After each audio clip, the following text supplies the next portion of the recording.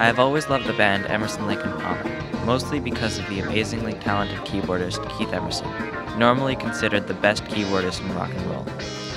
In addition to an organ he abuses on stage, he has a giant panel of knobs that looks to be from outer space. This is his Moog modular. As a keyboard player myself, I have always dreamed of owning my own modular synth.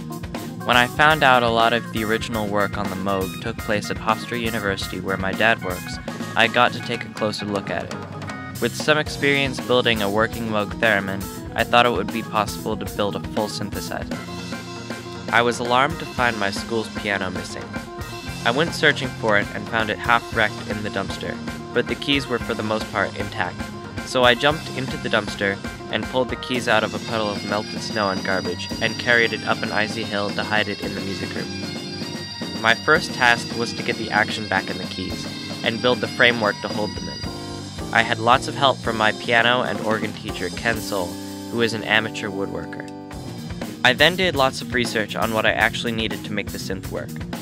Finding most schematics was not as hard as I thought, so I chose a design for a voltage controlled oscillator, a low frequency oscillator, a ladder filter based on the original Moog designs, an envelope generator, and a voltage controlled amplifier. The difficult part was finding a method of making the contacts on the keys into a control voltage, because most homemade synthesizers are controlled from a digital MIDI input. But after spending hours on the internet learning how everything worked, I had a plan for a 64 key keyboard scanning matrix. To finance this project, which quickly became expensive as soon as I got involved with the electronics, I found some odd jobs. I babysat kids, and I subbed in as an organist at local churches. I ordered parts from suppliers around the world to find exactly what I needed to make the synth, and they finally arrived. I began the long process of building my own circuit boards from scratch. First, I had to etch the copper. After a lot of failed attempts with transferring the image, I finally managed to get it right and I etched six boards. I drilled hundreds of holes with a Dremel tool for the parts to be inserted into.